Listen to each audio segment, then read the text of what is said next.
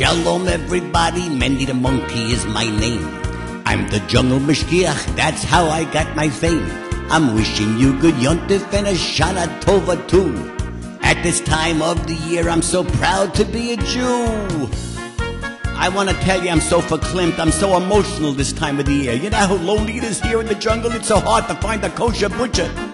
There's a little hut five miles from here with a sign that says Myron's Meats, but I don't know who their Mashgiach is.